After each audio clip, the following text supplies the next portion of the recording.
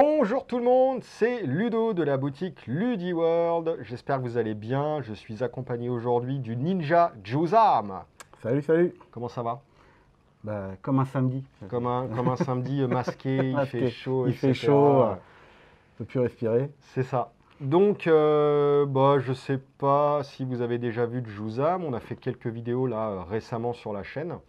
Euh, mais peut-être qu'elles ne sont pas encore diffusées. Donc, oulala, surprise. Et aujourd'hui, on va vous présenter le jeu UFS. Pour euh, UFS, ça veut dire Universal Fighting System. C'est un jeu qui est sorti en 2005-2006 Un dans ces eaux-là. ouais, c'est comme c'est ça. ouais. C'est, euh, on en discutait avec euh, Juzam à diverses occasions, c'est pour nous l'un des derniers jeux vraiment original à, à être sorti. Ce qu'on appelle jeu original, c'est un jeu qui n'est pas dans l'optique d'un Magic-like. Alors ce qu'est un Magic-like pour nous, c'est pas forcément un jeu où on dégomme l'adversaire en réduisant ses points de vie à zéro, mais c'est un jeu où on va jouer des sorts, poser une créature, attaquer, il y a du combat de créatures, attaque-défense, des jeux comme ça, il y en a des milliards. Et on trouve que depuis quelques années, il n'y a plus d'innovation dans les jeux, c'est toujours des Magic-like. Il y a eu quelques tentatives, Megacorp, Megacorp, ouais. Un ou deux jeux comme ça qui ont tenté de faire vraiment du novateur. Un Megacorp, c'est un truc de folie. Mais Megacorp, je pense qu'ils sont restés trop dans les années 90. Ouais, pour le coup, eux, Avec c'était. de euh, règles, 600 pages. euh, C'est ça. Et du coup, pour nous, UFS est le dernier jeu à avoir en, en nouveau jeu, hein, parce qu'il y a eu Android Netrunner, il y a eu Doomtown Reloaded, etc. Euh, Ashes était plutôt très sympathique, mais c'est du Magic-like dans la finalité. Star Wars Destiny, allez, à la limite, il Ouais, était un peu entre les deux. Mais, dés. euh, c'est- ouais. Mais UFS, c'est pour nous la dernière création euh, originale, et vous allez voir en quoi il est original. On vous a présenté Highlander, je ne sais pas si vous avez vu la vidéo, mais je vous oriente vers celle-ci. Highlander, c'est fabuleux. Et on trouve, euh, enfin, UFS a quelques petites similitudes, mais malgré tout, ça reste un jeu bien à part. Et euh, bah, quand tu me l'as présenté euh, l'autre jour, tout de suite, la première partie, ça a été euh, putain, ce jeu, il est trop bien. Les cartes sont jolies, la mécanique est fluide, c'est pas trop compliqué, mais il y a quand même. Où c'est très moche. Ouais, pour le coup, ouais. ouais, ouais. Non, non, c'est très très beau. hein. Bon, on peut commencer un petit peu juste pour les élus, hein, là, dans un tout premier lieu. Donc là, c'est basé sur euh, Street, Fighter. mais il y a eu énormément euh, d'univers. Ouais, un personnage de SNK. Après, moi, j'étais très, très jeu 2D, et du coup, tout ce qui est Soul Calibur et autres, j'en ai pas. Il y a eu Soul Calibur, il y a eu dans les nouvelles extensions Mortal Kombat, Mega Man, Cowboy Bebop. En fait, le principe du FS, c'est que c'est une mécanique de jeu de combat, mais vous avez plusieurs univers et vous vous faites euh, fighter tous les univers les uns contre les autres. Et, euh, et vraiment cool. Euh, du coup, bah, c'est un jeu où on va euh, démarrer la partie avec un personnage qui a un certain nombre de points de vie indiqués ici. Et le but du jeu, bah, c'est de détruire son adversaire en amenant ses points de vie à, à zéro. Pas très original pour le coup. Pas très original pour le coup, donc, euh, mais bon. Là, on a une taille de main maximale, C'est pas le maximum, c'est sa taille de main. sa taille de main. Ok, c'est-à-dire qu'on peut aller au-delà de 6. Oui. On peut avoir plus de cartes que sa taille de maximum, c'est juste qu'on piochera pas. euh, Ok, oui, parce qu'on on repioche à notre taille de main Taille de maximum, main maximum. en fin de tour. Début. Au début de tour, ok. C'est important, vu qu'on défend pendant le tour de l'autre. euh, Si on n'a pas gardé de carte pour défendre, on ne Ouais. défend pas. Et donc, euh, bah vas-y, je te laisse commencer à, à expliquer euh, quels sont les types de cartes, Bah. Il n'y a euh, pas beaucoup de types de cartes en fait dans ce jeu, il y a cinq types de cartes. Ouais, Donc une fois déjà qu'on a vu le personnage, ouais. le personnage effectivement en taille de main, les points de vie, il a des symboles aussi, symboles qui sont très importants parce que quand on joue des cartes, euh, on crée une chaîne de symboles et donc on doit toujours avoir un symbole en commun sur toutes les cartes qu'on a jouées. sur toutes les cartes. Donc- Et les symboles, c'est quoi? C'est des éléments? Alors il y a les quatre éléments, il y a euh, des symboles qui sont plutôt bons, comme par exemple ça c'est all, alors et il y a le plutôt mauvais, on va dire comme celui d'à côté qui est euh, void, donc le vide, Ouais. tout vide. Euh, là ici on peut voir, ça, Mais en gros, euh, généralement, les cartes. justice, ça c'est life, Ok. life là c'est water, donc l'eau. Euh, J'ai pas des cartes de méchants si, voilà, voilà. Alors ça, ça c'est la ev- evil, donc méchant, et ça c'est mort, qui sont les, les pendants de vie et de justice. Et en gros, quand une carte a un symbole, elle est, en termes d'effets, souvent orientée certains types d'effets plus qu'un autre. Et en gros, on va, alors on va vous expliquer le jeu naturellement, mais quand on jouera une succession de cartes, il faut que toutes les cartes aient un symbole en commun sur toute la ligne. Voilà, par exemple, je ne pourrais pas jouer cette carte Parce que... parce qu'elle n'a aucun symbole en commun avec déjà mon personnage. Enfin si, il y a la O, donc Ouais. mon personnage pourrait la jouer, Donc ton personnage pourrait jouer cette carte-là Voilà. parce qu'il y a le symbole O. O, mais comme les autres ne l'ont pas, et donc aucun symbole. Celle-ci aurait Ça- O. Oui, donc on pourrait faire une chaîne comme ça. Voilà. Mais là- par contre, si je jouais ça, je pourrais pas faire une chaîne comme ça. Ok, parce qu'il n'y a pas de Parce a pas de symbole en commun sur les trois. Ok, donc ça serait soit comme ça, Voilà, soit comme ça. ou euh, soit comme ça. Ok, ça roule. En gros, c'est des pseudo couleurs de mana pour faire des, ch- des enchaînements de cartes. Voilà, après, il y en a 12 différents. Ok, Euh, tous les personnages en ont 3. ok. Donc ça laisse quand même une belle Voilà, variété. c'est-à-dire qu'un même euh, personnage, en général, on, a- on peut faire trois builds vraiment euh, différents avec.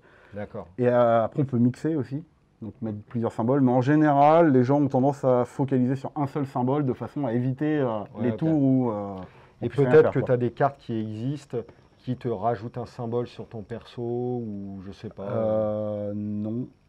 Enfin, c'est très très euh, particulier. Mais par contre, il y a des cartes qui ont le symbole de l'infini, donc un 8 quoi, de l'infini, et qui au moment où tu la joues, tu décides le symbole qu'elle a. Ah, ok. en fait, c'est des cartes neutres qui peuvent être jouées dans- avec tous les persos. D'accord, ok. Alors, euh, ce que je disais aussi, c'est que euh, voilà, les éléments, l'enchaînement des éléments. Ouais, Et ici, on a ce qu'on appelle la zone de bloc, qu'on verra euh, avec les attaques. ok. Après, en carte basique, Tu as les fondations. on a les foundations, les cartes Ok, donc c'est des cartes qui vont arriver en jeu de ton côté, voilà, et qui restent qui vont le jeu. avoir, qui vont rester en jeu, qui vont avoir des effets de jeu euh, qui vont servir à différents moments, et elles ont un effet euh, quand tu les engages, Quand tu ça les engages, tu peux augmenter le résultat de tes checks. Check, c'est le symbole, enfin le, le chiffre qui est en bas à droite de toutes les cartes. Et c'est ça qui permet de payer le coût des cartes. En fait, quand tu joues une carte, elle est gratuite à jouer. Tu vas la Tu poser la poses, mais jeu. que tu fasses un, un check. Tu vas faire un check. Donc tu vas prendre ton deck. La première carte du deck et tu vas euh, regarder. Vas-y, on va simuler un. Bah, par exemple, Imagine, tu- je veux j'ai jouer mon ça. deck, je veux jouer ça, je retourne la première carte. Ici, j'ai un 3. 3, c'est plus que 0. J'ai réussi à jouer ma carte. Ok, là, les cartes n'ont pas de coût de mana, mais ont une difficulté. Exactement. Celle-ci, pour la mettre en jeu, me coûtait 0. Voilà. Forcément, là, c'était réussi. Tu t'es mêlé, elle est, euh, elle est posée. Ensuite, si tu veux jouer une deuxième carte, Par exemple, je vais jouer une deuxième, celle-là. Celle-là me coûte 3. elle te coûte 3, c'est déjà Mais plus cher. Comme j'en ai une autre avant, elle me coûte un de plus. Donc elle me coûte 4. À chaque fois que tu joues des cartes en plus dans la ligne, la difficulté Augmente. augmente d'autant de cartes qu'il y a avant. Voilà, c'est ça. Donc celle-ci te coûterait 3 Plus 1, plus 1, 4. 4. Donc Et on si fait je un check, check. j'ai un 4. Oh, c'est réussi. C'est réussi. Vas-y, joue-en une Et là, troisième. on est fou, on est fou. On en met une troisième. Ouah, ça coûte 2, 3, 3, 4, 4. Vas-y. 4. 4, putain, c'est Une réussi. Vas-y, je vous en une troisième. Une quatrième là. Euh, une quatrième, On pardon. est fou. 2, 3, 4, Quatre, 5. cinq. Vas-y, fais ton check. 5. Waouh, mais c'est pas possible. On aurait dû stacker le deck avant. On aurait dû stacker le deck. Vas-y, je vous en une autre. Alors là, ça coûte 1, 2, 3, 4, 5. Bon, tu vas encore réussir. 5. Oh non, mais c'est pas possible, c'est du jamais vu. Allez, on en remet une. Allez, on en met une. Celle-ci te coûte 2, 3, 4, 5, 6, 7. On peut plus réussir là. On peut plus réussir. Non, le maximum c'est 6. Attention. 5. 5, c'est foiré. Donc celle-ci Elle est n'a pas fonctionné. Et le tour s'arrête. Et le tour s'arrête. Et le tour s'arrête. Quand tu foires un check, Le tour s'arrête. le tour s'arrête. Voilà. Ok. Après, les fondations ont la particularité, ici, elles vont venir de mon, dans ma zone. toi. Donc c'est comme si, alors euh, pour schématiser un petit peu pour ceux qui connaissent euh, Magic, Force of Will, Dragon Ball, etc. Vous jouez des terrains, des cartes qui vous aident à vous développer. On va dire pour schématiser que les fondations, c'est un peu des terrains. Voilà. C'est des cartes qui restent chez vous. Ça va vous donner des effets, donc il faut lire les effets. hein, On en reparlera. On aura certains exemples à donner. Et ensuite, euh, les fondations vont servir de pseudo-terrain, à savoir les que lorsque vous jouez des cartes, donc je, sais pas, je fais n'importe quoi. hein. Là, par exemple, celle-ci me coûterait 0, 1, 2. Je dois faire un check de, de 2. Deux. Imaginez ici, je résous, je révèle un 1. Merde, c'est foiré. Je peux engager pour augmenter la valeur de mon check De 1. de 1. Donc si j'ai besoin de faire un plus 2, bah, je fais plus 1, plus 2. Et là, je réussis mon check. Donc c'est pour ça que je compare ça un petit peu à des terrains, parce que c'est ce qui permet de jouer vos cartes finalement. Après, comme je dis, c'est assez. euh, parce que c'est quand même des decks qui jouent avec des cartes qui coûtent très peu cher et donc avec 3-4 cartes seulement, ils peuvent, euh, Ils peuvent envoyer la euh, sauce. Ouais, ok. Mais là, en tout cas, enfin, c'était un mauvais exemple. On a eu beaucoup de mal à Là, rater. ce hein. qu'on vient de faire, c'était On a improbable. eu beaucoup de mal à rater. Donc, tu vas pouvoir jouer des fondations qui vont rester en jeu, etc. Et les- Tu as un autre type de carte qui ressemble aux fondations, c'est les assets, c'est les assets. cartes vertes. Exactement la carte verte au lieu d'être grise. Exactement la même chose que toutes les autres cartes du jeu. jeu. Elles ont une difficulté, on va devoir faire un check pour voir si elles sont résolues ou pas. Elles vont rester en jeu devant Voilà. soi au même titre que les fondations. Elles vont nous apporter des effets de jeu Comme les fondations. comme les fondations. Par contre, on ne peut pas les engager pour augmenter notre chèque de, de 1. Exactement. Ok, ça roule. Ensuite, on a les événements, donc les cartes bleues. Ok, On les joue, ok, on les résout, ok. et à la fin du tour, elles sont défaussées. Ok, c'est des rituels. euh, Voilà. ça roule. Voilà. Avec la même particularité, Tout à comme fait. toutes les cartes du jeu, on doit checker pour, euh, pour réussir. voilà. On peut voir que celle-là, par contre, a beaucoup d'éléments, parce que c'est une Wow. carte euh, que beaucoup de persos peuvent jouer du coup. Ah oui, ok, d'accord. Ok, ça roule. Et le type de carte Le type de principale, celui que tout le monde attend, Ultime, l'attaque. c'est les attaques. Ça, c'est quoi un C'est Shoryuken le Ryu Shoryuken Extra. Attention. C'est vraiment beau, moi, je trouve. Donc, pour les jouer, bah, tu la poses devant Voilà. toi. Celle-là, Elles ont une coûte difficulté. sept. Elles coûtent 7. Donc, voilà, tu donc, vas devoir euh, checker. checker, on va forcément rater. Vas-y. 5. Cinq, Putain, donc il vite, il me manque 2. 2. Vas-y. 1, 2, Deux. j'ai fait 7. C'est bon, mon attaque, Voilà. elle est là. Ensuite, euh, l'attaque, on peut lui faire des modifications, qui s'appellent les zonance.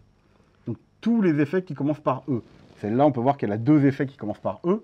La première qui c'est de piocher deux cartes, et ensuite la deuxième qui dit Alors, que si les effets enhance, c'est quand on est en phase où je fais une je joue attaque, l'attaque, je déclenche tous ces effets enhance, chacun son tour. Chacun son tour. D'abord l'attaquant, puis Puis le défenseur, défenseur, en- attaquant, défenseur, en ping-pong. ping-pong. et c'est à ce moment-là que je peux utiliser mes fondations qui C'est ça. ont des effets enhanced. C'est ça. D'accord. Et là, par exemple, je celle-ci- l'engage et je réduis les dégâts de l'attaque euh, d'un montant et s'expliquer de combien. D'accord. Donc tu m'attaques, j'utilise l'effet enhanced, boum, je te réduis ton attaque. Voilà. Plutôt sympa. Celle-ci, par exemple, effet enhanced. Si notre attaque inflige des dégâts, on gagne X vitalité, c'est X points de vie, où X est égal à 5 moins Le contrôle de l'attaque. le contrôle de l'attaque. C'est quoi le contrôle de l'attaque? C'est le contrôle, c'est ce qui est en bas. Ah, c'est le c'est-à-dire que là. Si cette attaque fait des dégâts, je gagnerai 2 points de vie.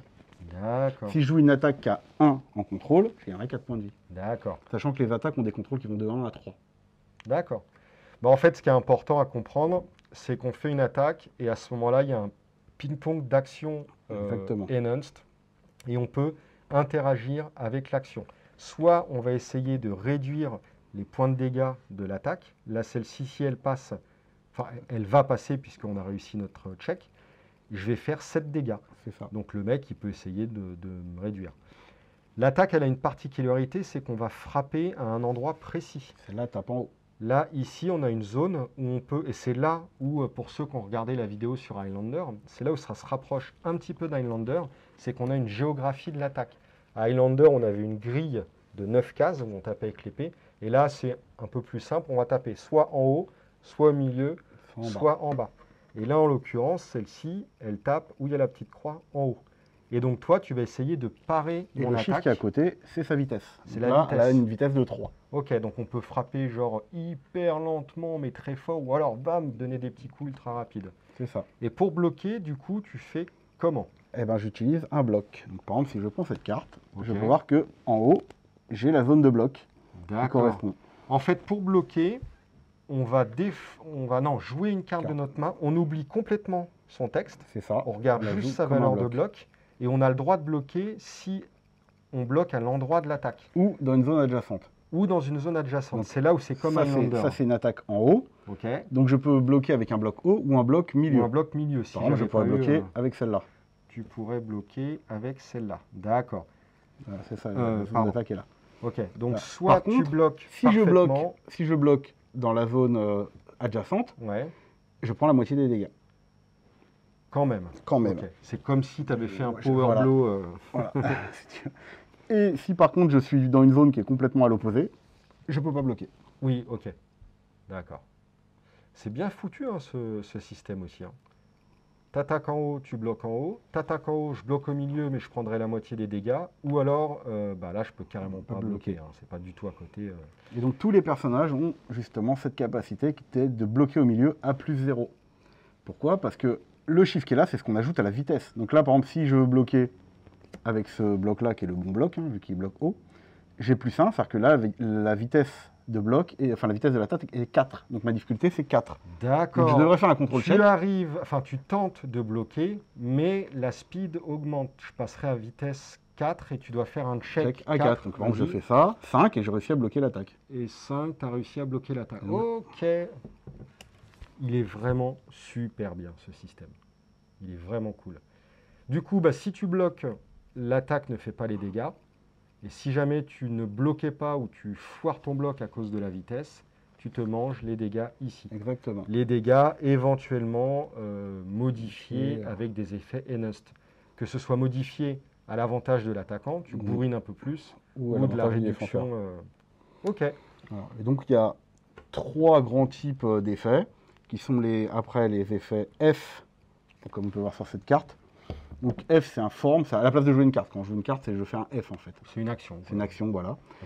J'ai les effets E, comme sur celle-là, qui sont les. Ouais. Et j'ai les effets R, je dois bien en avoir un R, voilà, C'est les réactions. C'est les réactions qui se font au moment où... Au bah, moment de décrit sur, euh, sur la carte. sur la carte.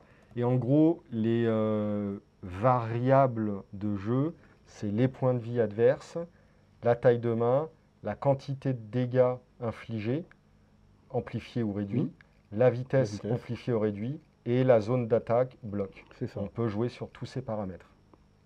Donc, et puis après, oui, les icônes ici, mais qui sont plus du build que, que autre chose. Quoi. Sachant qu'après, faire des enchaînements de grosses attaques, c'est très compliqué. Je, je prends un exemple. Même si j'ai. On a l'impression que j'ai beaucoup de fondations.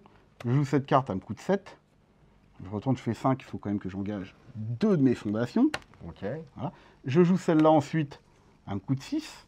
Mais comme j'ai une carte avant, ça fait 7. Ah oui, il y a toujours, même dans les attaques, le truc. Donc 6 plus 1, Sept. 7. Vas-y. Je fais ça, ça fait 5. Il faut encore que j'engage deux de mes fondations. 2. Voilà. Là, je me dis, moi, j'en ai plus que 2. Et si, par exemple, je joue celle-là en dernier, Ça te coûte 4 plus Deux, 2, 6.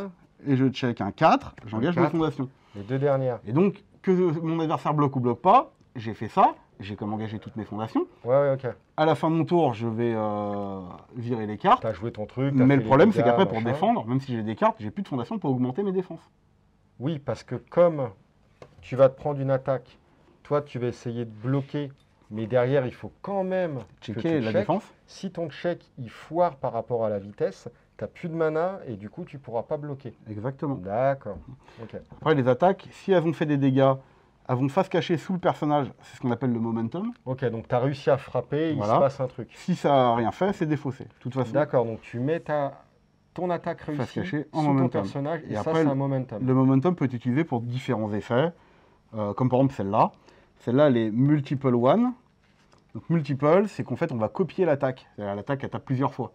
Donc je prends le momentum, je le mets à côté de mon attaque, qui va avoir comme défaut, c'est euh, de dire, bah, ça augmente toujours ma difficulté. Parce Ah que oui. c'est considéré comme une attaque de plus. Hmm. Et du coup, je, résol- je résolverai deux fois l'attaque. Donc je- mon adversaire va prendre ça, puis va prendre ça. D'accord. Donc deux fois, il faudra qu'il bloque à 6. Et le momentum que tu vas stacker en dessous de ton perso, je suppose qu'il y a des decks qui permettent de jouer beaucoup, beaucoup de sur le momentum et d'en avoir beaucoup. Voilà. Et c'est du coup une autre variable de jeu. C'est tu vas pouvoir déclencher plein d'effets en fonction des cartes que tu auras stackées. euh, le momentum. Ok. C'est un jeu qui est vraiment. Là, en gros, je crois qu'on a tout, euh, tout expliqué. hein. Oui, oui. Après, on peut dire que le personnage, il peut s'engager comme une fondation pour ajouter un haut check. Oui, ok, tu peux. Voilà, ce qui fait que le joueur qui commence tape son personnage au premier tour, donc il aura ce malus euh, Ouais, vis-à-vis celui qui commence pas. Euh, si on a plusieurs fois le même personnage, on peut le, le stacker pour combiner les, les pouvoirs. Par exemple, là, on peut voir sur ce personnage-là Ah oui. qu'il a quatre petits points à côté, donc c'est la quatrième version de Sakura. D'accord. Donc si j'ai la version 1, 2 ou 3, je pourrais la jouer et combiner les pouvoirs. Combiner les pouvoirs et Voilà. tu auras un méga perso de malade. Voilà. Et euh, qu'est-ce qui se passe quand tu n'as plus de deck? Euh, bah, tu remélanges ta défausse. Ok, Et par contre, tu retires de la partie les 10 premières, si je dis pas de bêtises. ok. Et comme ton deck, c'est un moteur à checking, Bah, forcément, quand tu n'as plus de deck, Voilà. au bout d'un moment, tu pourras plus checker et, et plus jouer. plus jouer. Ok. Ça roule. Bah écoute, moi c'est un jeu. Alors pour avoir fait, on a fait une partie. Ouais. Ouais. J'ai kiffé. J'ai gagné ou pas? Non, parce que j'étais aussi à t'avoir pile. Putain. Tu, ré- tu réduisais les dégâts. Oui. J'avais beaucoup de mal à te faire des dégâts et j'ai réussi à t'enchaîner deux. euh, Ouais, ouais. Mais non, c'est un jeu de merde en fait. non, non, et vraiment, j'ai bien aimé parce que, bah déjà, le jeu est cool, il est beau, il est amusant, et pas très compliqué. Euh, Il y a des bonnes sensations de jeu, c'est assez nerveux, il y a un peu de contrôle. J'ai joué un deck, j'en ai vu un deuxième. Je pense qu'il y a une variété de gameplay, d'archétypes assez, euh, assez large. C'est un jeu, comme on le disait, je trouve, il est relativement original parce qu'il sort aujourd'hui. C'est tombé pile poil après avoir connu euh, Highlander, euh, où on retrouve le système de géographie de l'attaque, mais fait un peu différemment. Je sais pas, moi j'aime vraiment beaucoup ce, jeu-là. j'ai beaucoup aimé. hein. J'ai fait le championnat de France plusieurs fois. Donc, euh, c'est un jeu que j'ai beaucoup aimé. hein. Et c'est un jeu qui est mort une première fois, malheureusement. alors, euh, il a- à l'origine, c'était un jeu qui était fait par Cybersooth Game. Ouais, La licence était rachetée par FFG. ouais. Puis ensuite, euh, eux, ils ont arrêté et c'était repris par Jasco, si j'ai pas de bêtises. C'est ça, ça a Moi, été j'ai repris il y a deux ans, je crois, par Jasco. Mm, Plus vieux. Beaucoup Trois ans plus vieux. Beaucoup Ah bon plus vieux. C'était repris juste après que le jeu, enfin, quand FFG a arrêté. Et en fait, il y a eu un gros trou parce qu'ils ont sorti deux, trois trucs et ça n'a pas bien marché. Ok. Et euh, après, ils. ils Ah, donc en fait, aujourd'hui, c'est toujours euh, par Jasco. Qui avait Ouais. racheté il y a très longtemps, mais il n'y a que depuis deux ans, genre, qui ressortent des cartes comme euh, avant. C'est ça. Ok. Moi, pour être totalement franc avec vous, j'en avais euh, référencé. Froid, Franc, J'ai dit froid? T'es dit froid. Froid, merde. j'en avais référencé, j'en avais en vente, etc. Euh, c'est un jeu, je me suis jamais intéressé. Il y a peu de joueurs qui y jouent. Et euh, du coup, je suis passé totalement à côté. Et euh, c'est pour ça que je voulais vraiment vous faire une vidéo, parce qu'après y avoir joué, c'est un jeu qui mérite d'être vraiment connu. Il est super cool. Et, euh, et je regrette de ne pas m'être pris les cartes que je vendais, en fait. Aujourd'hui, j'ai du mal à en récupérer. Et bon, je devrais en récupérer, ceci dit, mais, mais voilà. Donc, je vous le conseille vraiment beaucoup. On peut jouer en scellé, en draft? Oui. Ouais, Oui, bah, de toute façon, nous, ce qu'on faisait, c'était au... pendant les, les pré-releases. ouais. On récupérait tous un starter et 3-4 boosters, et puis euh, on faisait des tournois comme ça. Ok, par contre, on risque d'avoir des difficultés. En draft, ça me paraît plus, plus compliqué. Mais. Euh... Ah bon? Oh, quoi que tu veux, tu me diras. Faut juste plus de boosters, quoi. Enfin, Ouais, voilà. Il faut juste faire attention aux éléments euh, ici. C'est le défaut. Après, je. Est-ce qu'on peut pas jouer en mode sans éléments du Alors, l'avantage, c'est que dans les, les starters, toutes les... enfin, quasiment toutes les cartes euh, sont jouables avec euh, le Oui, perso qui est fourni. perso. Il y a trois symboles à chaque fois sur une carte. Donc, euh, j'ai envie de dire, il, y a, il y a quand même, en général, les trois quarts des cartes qui sont, jouables avec. Enfin, pas les trois quarts, mais. Et est-ce qu'on trouve dire, un des... bon tiers, un bon tiers de persos qui peuvent être joués. Ok. Et est-ce qu'on trouve des héros euh, dans les boosters? C'est- bah, Il y en a dans- toujours dans les starters, mais après, il y a des versions rares, ultra rares euh, dans les boosters. ouais. Ok, ouais, donc pour faire du scellé ou du draft, il faut quand même du starter. Bah, après, euh, après, je crois qu'il y avait un perso de base qui, qui donnait, mais euh, je me rappelle plus. Ouais, C'était genre Ou alors c'est ce que j'allais 6-30, dire. 6-30 avec euh, le symbole infini. et- Sinon, on prend tous les persos de l'extension en proxy, on s'ouvre des boosters, on les draft, Oui. forcément c'est jouable. quoi. Forcément. Ouais, on peut faire un truc comme ça après. Après, j'ai envie de dire, c'est un peu comme un Magic. C'est-à-dire que si tu draftes dans certains symboles et que quelqu'un te contre-draft ou autre, tu vas te retrouver embêté, mais c'est le même principe qu'un Magic. Oui, ok. Bon, ben voilà. Et ben c'était euh, Universal Fighting System. Ben moi, vraiment, je... là, tu vois, ça me donne envie de d'y rejouer. Après, bon, l'univers, moi, des jeux de combat, euh, pff, honnêtement, je m'en fiche un Bah, peu. les premiers, c'était euh, Street Fighter euh, et Soul Calibur. Ouais. Je vais avoir du Puis, Soul puis- Calibur. puis après, ils ont rajouté euh, Darkstalker et euh, Samurai Shadow. Ouais. Et c'est bien après qu'il y a eu des choses qui ont été rajoutées par Jasco Game. Mais, Mais là, à Jasco, j'ai vu, il y a Mortal Kombat, il y a Megaman, t'as Cowboy Bebop, bon, t'as Street Fighter, ok. Euh, t'as Street Fighter versus Darkstalker, Ouais. je crois. ouais, ils ont... Et j'ai regardé leur page, vous irez voir, il y a énormément de licences Et euh, ouais, j'espère que je vais pouvoir euh, vous proposer tout ça euh, sous peu. Euh, ouais. Bah encore merci. Enfin merci, je sais pas si je devrais te remercier. hein. Tu vas encore dépenser de l'argent La prochaine fois c'est quoi? Alien Predator, Terminator? Ouais, euh, peut-être. ouais. On verra. Bah, Terminator, on peut, vu que tu as des starters, on, peut, on pourra Ouais, on se fera une partie. euh, Alien vs Predator, le problème c'est que euh, faut que je retrouve dans tous mes cartons de cartes euh, où est-ce mais fait. si c'est la même méca que Terminator. C'est la même méca, c'est la même méca. Terminator. Allez, sur ce, je vous laisse. Merci beaucoup d'avoir regardé la vidéo. Et puis, euh, merci de vous âme. Et puis, merci à toi. à la prochaine. Au revoir. Salut